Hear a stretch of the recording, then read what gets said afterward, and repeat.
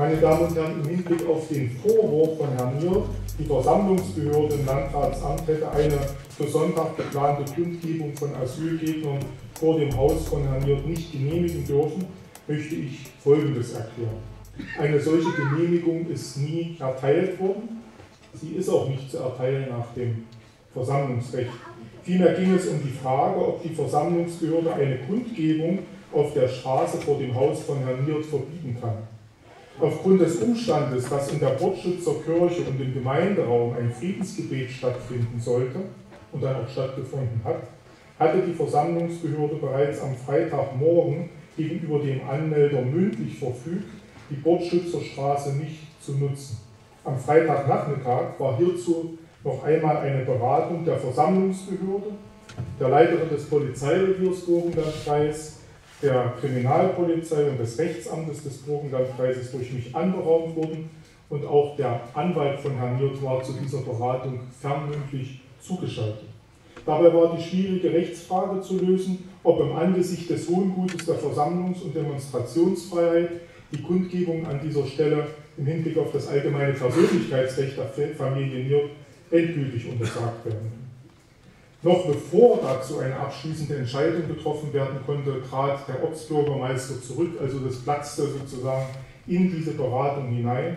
Und darauf wurde dann im Einvernehmen mit dem Anmelder der Demonstration erreicht, dass die Demonstration einen anderen Verlauf nahm. Ich kann aufgrund dieses Vorgangs schwerwiegende Verfahrensfehler der Versammlungsbehörde nicht erkennen. Sein Rücktritt kommt im Hinblick auf die Entscheidung, die wir heute im Kreistag zu treffen haben, äh, bis, äh, also zur Unterbringung von bis zu 40 Asylbewerbern, insofern zur Unzeit und er wird auch eine Lücke reißen, die dann nur schwer zu schließen sein wird. Auch wenn ich seine persönliche Situation gut verstehen kann, ich habe auch drei Kinder, auch eine Familie, äh, dürfen wir nicht zulassen, dass Fremdenfeindlichkeit und Hass auf Asylbewerber und Kriegsflüchtlinge die Oberhand gewinnen.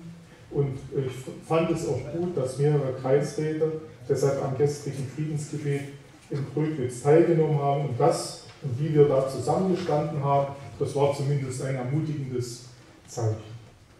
Das Landratsamt bereitet seit mehreren Monaten die heutige Kreistagsentscheidung zur Unterbringung von 40 Asylbewerbern in Tröglitz vor.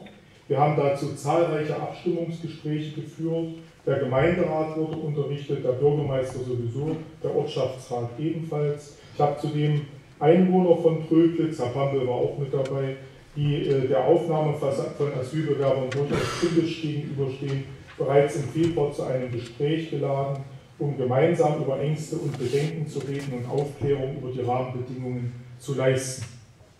Im Falle einer Zustimmung des Kreistages zur Anmietung von Wohnungen in Tröglitz werde ich dann auch zu einer Einwohnerversammlung einladen, so wie das in Eckartsberger und auch in Hohenmölzen war. Und falls der Kreistag zustimmt, wird diese Einwohnerversammlung am 31. März 2015 stattfinden, um allen Einwohnern die Chance zu geben, Ihre Fragen zu stellen, die die Unterbringung betreffen.